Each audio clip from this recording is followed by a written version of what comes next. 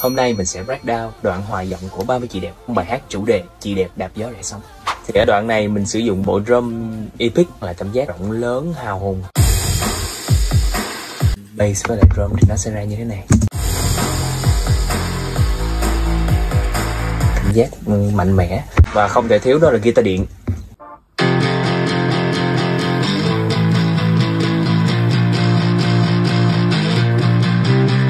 Epic thì không thể nào thiếu dàn dây được. Chút sự tự hào đến từ bộ brass.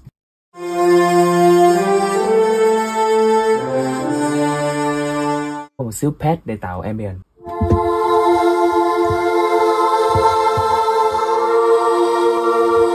Một xíu về plug lông lanh lông lanh lông lanh và khi nghe chung tất cả lại